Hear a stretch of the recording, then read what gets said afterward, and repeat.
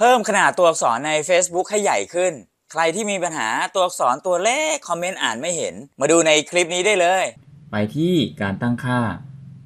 เดี๋ยวคุณหนึ่งจะให้ดู 2 แบบ 2 วิธีนะครับ ในมือถือ oppo ตัวนี้ ให้ท่านผู้ชมไปที่การแสดงผลและความสว่าง มันจะเข้ามาในหน้าแบบนี้ ให้เราเลื่อนขึ้นไปครับ แล้วเราจะมาเจอขนาดการแสดงผลตัวนี้ครับ แตะเข้าไป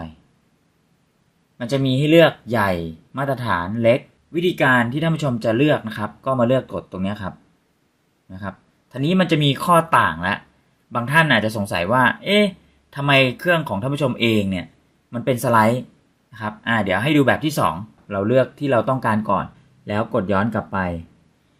เราจะเจอตรงนี้ครับ แบบอักษรตรงนี้ครับ กดเข้าไปที่แบบอักษรอีกทีหนึ่งครับเขาจะมีตัวอย่างให้เราเห็นตรงนี้นะครับ เราก็ดูเลยครับว่าเราอ่านเห็นไหมอ่าถ้ายังไม่พอเราก็เลื่อนตรงนี้ครับ เลื่อนไปเนี่ยเป็นแถบเห็นไหมครับ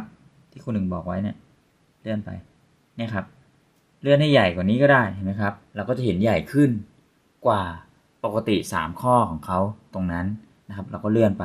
ถ้าเราเลื่อนโอเคแล้ว แล้วกดใช้นะครับ มันก็จะใหญ่ให้เห็นแบบนี้นะครับ แล้วก็กดปัดทั้งหมดออกไปเลยครับ ทีนี้เราจะกลับไปที่ตัว Facebook ไปที่หน้าโปรไฟล์เพื่อจะดูเมื่อสักครู่นี้ ว้าว เป็นไงครับ ใหญ่กว่าเมื่อกี้เยอะเลยเห็นไหมครับ นี่นะครับ ชัดเจนมากๆเลยนะครับ แล้วทีนี้ถ้าเราอยากจะกลับไปเหมือนเดิมหรือว่า เอ๊ปรับแล้วมันไม่โอเค วิธีก็กลับไปเหมือนเดิม ตามที่นี้เลยครับ ไปที่การตั้งค่า เราก็ไปที่จอแสดงผลและความสว่าง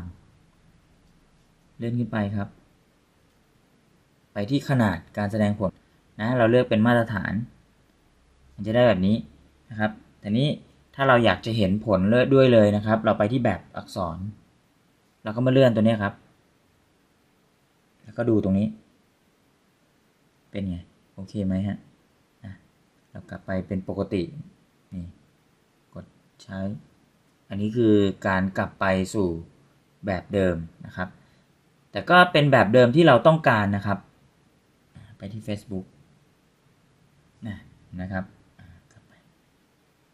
อ่าเป็นไงบ้างครับ อันนี้คือกลับมาแบบเดิมแล้วนะครับ ใครชอบแบบไหนก็ปรับแต่งกันได้เลยนะครับ ในคลิปนี้จะเป็นของมือถือ oppo นะครับ ส่วนใครใช้มือถือยี่ห้อรุ่นอื่นๆ แนะนำให้ไปกดที่ลิงก์ตัว i ตอนนี้ หรือจะไปกดที่ด้านล่างคำอธิบายของคลิปก่อนก็ได้นะครับครูหนึ่งแนบเพลย์ลิสต์เอาไว้ให้แล้วนะวิธีการเพิ่มขยายตัวอักษรใน Facebook ให้ใหญ่ขึ้น ส่วนใครเข้าไปแล้ว ไม่เห็นรุ่นยี่ห้อของท่านผู้ชมเองก็กลับมาคอมเมนต์ที่ใต้คอมเมนต์นี้ได้เลยนะครับ ถ้าคุณหนึ่งได้เครื่องมาแล้ว จะทำวิธีแนะนำเพิ่มเติมให้ และคุณหนึ่งก็ต้องขอขอบคุณร้านจีโซย่าเขาใหญ่ด้วยนะครับ ให้คุณหนึ่งยืมเครื่อง oppo มาทำวิธีแนะนำให้กับพวกเราได้ดูกัน ถ้าใครชอบอาหารญี่ปุ่น บรรยากาศแบบเขาใหญ่เขาใหญ่นะครับ ก็